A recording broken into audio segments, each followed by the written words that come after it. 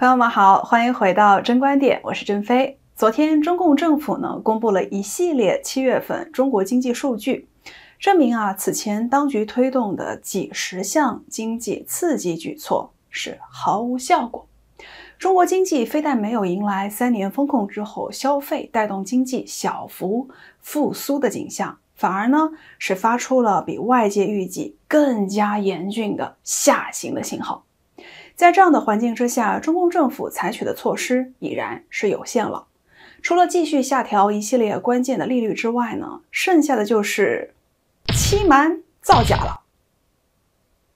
中共统计局昨天出人意料地宣布，将不再发布全国城镇青年失业率的数据，解释说呢，在校生规模占了全国城镇青年的大比重。那是因为中国居民的受教育水平在提高啊，是好事。那在校生的主要任务就是学习嘛，谈什么就业？网友对此的评论呢，也真的是不留情面。谁能想到，他从装满喇叭的工具箱里是翻出了眼罩，在不裹脚的时代，他却裹了脑，牛啊！根据周二公布的最新数据，中国七月份的社会消费品零售总额呢，同比增长百分之二点五，与六月份百分之三点一的增速相比是放缓了，并且呢，远低于此前《华尔街日报》经济学家们给出的预测值百分之四点四。七月份的工业增加值同比增长百分之三点七，低于六月份百分之四点四的增速，也低于预期的百分之四点六。这说明，在海外出口需求减弱的大背景之下，中国国内的需求依然是如稀泥扶不上墙啊！中国工厂怕是早已经饥寒交迫，难以为继了。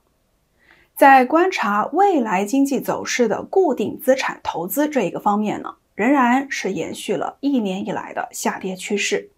一到七月份同比增长百分之三点四，而今年年初的增速呢？是在百分之五点二以上，这意味着民间企业，包括政府，对建筑、机械、钢筋、水泥等固定资产的投资在不断的萎缩。当然，固定资产投资所带来的大宗消费也就在伴随着迅速缩水。在出口之上呢，以美元计价的进出口同比降幅是已经跌穿了历史记录，达到百分之十二点四是进口和百分之十四点五作为出口。虽然是还有顺差，但是已经显现出了岌岌可危的衰退型顺差之象。预计这未来出口还会进一步的减弱。从美国对中国的进口创下二十年来的新低呢，就可以看出。这张图呢，展示了美国商品进口百分比的变化。从中国进口商品的这个占比呢是蓝线，从亚洲但是不包括中国是淡黄线。二零一九年的时候，两者数额交汇，自此中国是一路下行。虽然中间出现过小幅的反弹，但是呢有两次下滑的幅度呢非常之剧烈的阶段，一次是在一九年到二零年川普任期的末尾达到最低点。第二次呢，就是从二二年中至今，从上一次的最低点再继续下跌。那目前呢，已经是达到了自二零零三年，也就是中共加入世贸组织的两年之后，美国与中共做生意的那个水平了。朋友们还记不记得我们昨天节目当中说呢？很多看似偶然的事件背后，好像都有一个惊人的相似啊，就是他们呢。都在朝着两千年那个时候的中国所处的状态发展着，这是不是又是一个例子？当然了，这有可能是某种心理学效应的原因啊。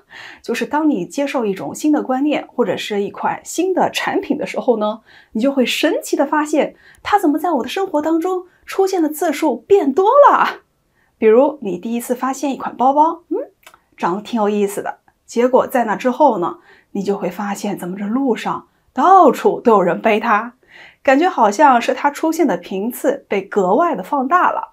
其实呢，只是和我们的认知产生了关联。这是什么理论？我忘了，知道的朋友呢，请留言告诉我。中国的经济每况愈下。相信这对于长期看我们节目的朋友来说呢，是一个没有悬念、不争的事实。我们以往也讲过，虽然是如此吧，但是为何中国经济却一直是溃而不倒呢？错过的朋友呢，欢迎去看有一个中国经济的 playlist，里面呢有很多我以前关于中国经济的分享。正基于此，那今天的节目呢，我们就不再去详细的观察数据本身了。我想来聊一聊。为何中国的经济无法长期持续的繁盛，反而这每况愈下才是它的必然趋势？朋友们想过这个问题吗？中国有句老话叫“命中注定”，人之命有必然，当然也有偶然。那么一国之治理是否也有必然，存在着偶然呢？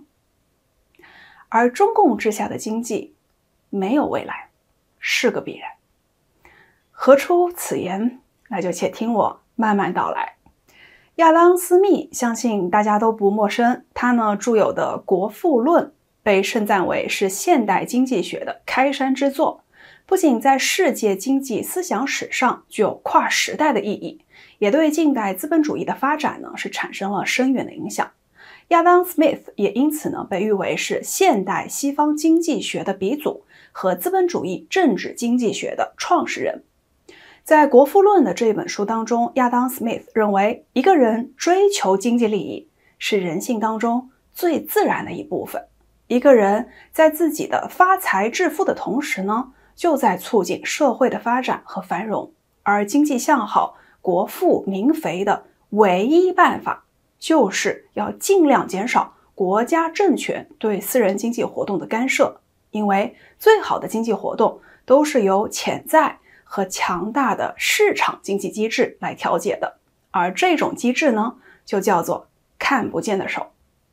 这也是资本主义的核心。一言以蔽之，就是说，在市场这只看不见的手的调控之下，自立的人可以互利，同时发展经济，而政府在其中扮演的角色嘛，就是要尽量少的干预。只提供基本的服务，这种说法在很多社会主义者的眼里呢，就是资本主义万恶的来源啊！人们争相去逐利，当然这有钱人就有更大的搅弄风云之资本了吧？中产阶级和贫困者们当然就会处于弱势了，在竞相逐利的过程当中，也得不到与富人平等的机会和利益的最大化呀！关键。是这政府还不能管，那不就是由着他们为所欲为、放任自流吗？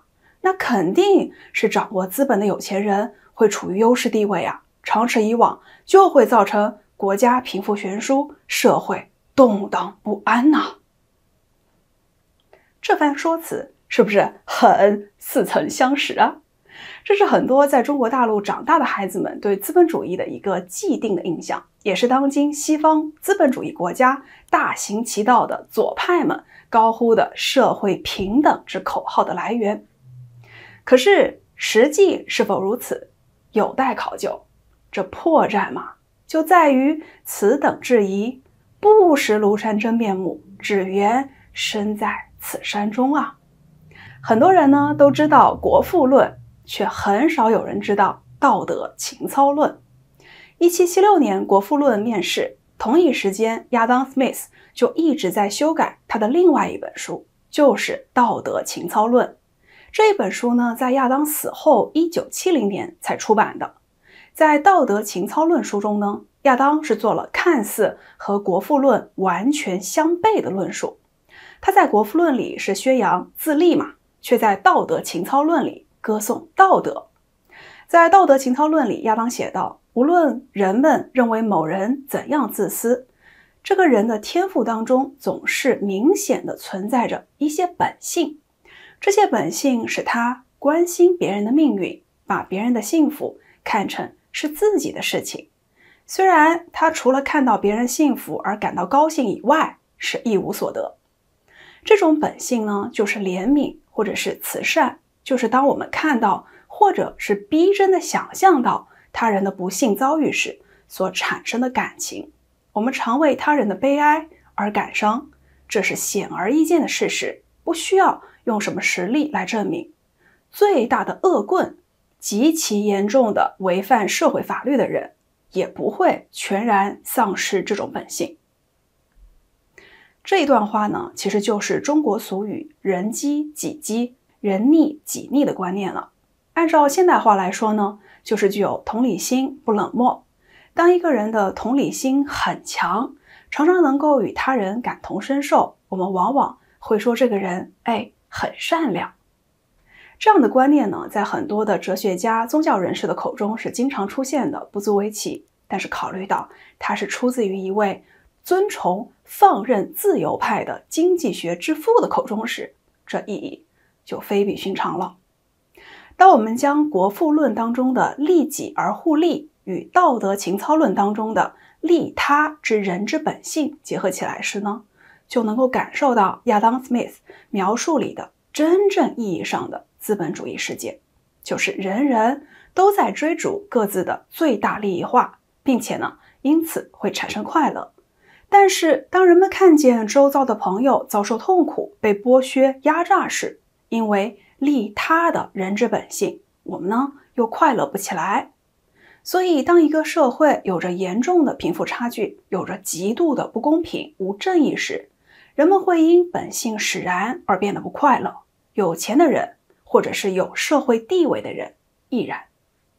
因此呢，就会推动他们去改变现状，帮助那些受苦的人，从而呢增加自己的快乐，也就避免了。朱门酒肉臭，路有冻死骨的恶劣的现象。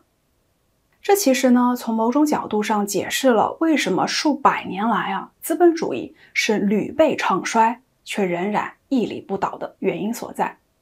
因为这种蕴藏在人类本性中的道德情操上的同理心，这种善，使得资本主义在危机当中能够激发它内在的反省，及时推出改善的机制。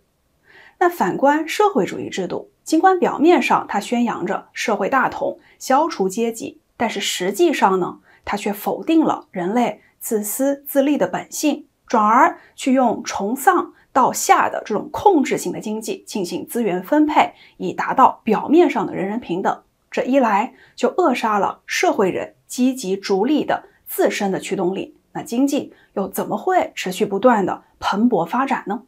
二来。社会主义的无神论、法家性本恶的思想，在压制人类本性当中的善，让人呢变得冷漠，又如何让人能够因为社会不公和非正义而及时的自省和改进呢？所以讲到这里，聪明的你们呢，肯定感受到了这两种制度的道路啊，好像是完全相悖的。资本主义从人之本性来出发，因为既自利又利他。从而呢，能够自我的调节、平衡发展；而社会主义呢，是从表面形式出发，在追求达到表面的人间天堂的过程当中呢，却掏空了组成社会的人的人性当中最自然、最本真的利己和利他，模糊了人性当中的善与恶。就好比我们以前节目当中引用奥威尔《一九八六》里面说的。教人无知，对政府说的什么都不要想，没有想法，没有善恶，才是最好的，一样的道理嘛，是不是？而这两者之间最核心的差异呢，其实就在人性，尤其是人性当中的道德情操观。在《国富论》里面，亚当·斯密斯明确的表示，财富存在于公民的福祉之中。而这不但包括了他们的物质的福祉，也包括他们道德上的繁荣。在他的《道德情操论》这本书当中呢，他说，道德是人类繁荣的基础，对那些普遍道德规范的遵守，是我们人类社会存在的基础。如果他们没有深入人心的话，我们的社会就会在瞬间崩溃。那么了解了这些呢，我们再回过头来去看亚当·斯密在《国富论》里的利己。其实他说的这个利己呢，没有包括那种要损人利己的利己，而是要建立在道德基础上的利己。亚当·斯密斯在论述道德情操时呢，提到过三个因素能够让自利的人和平互助，并且呢持续的互利互助。哪三个呢？第一就是良心，其实就是我们刚刚说的天生本性当中的同情心和恻隐之心。第二呢，就是法律，就是外在的规范了。那第三呢，是死后对下地狱的恐惧，就是宗教信仰所规定的道德行为的标尺了。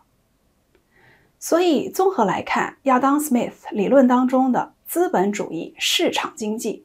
是在一个重要的前提之上的，这个前提就是由有道德的人在组成的社会和国家里去践行道德，保有同时逐利和利他之人之本性，在政府尽量少干预的情况之下，市场其实某种层面呢，也就是人与人之间经济活动的模式和处理机制了，就会自动的调控、平衡、改进，从而呢达到经济繁荣、国之富饶。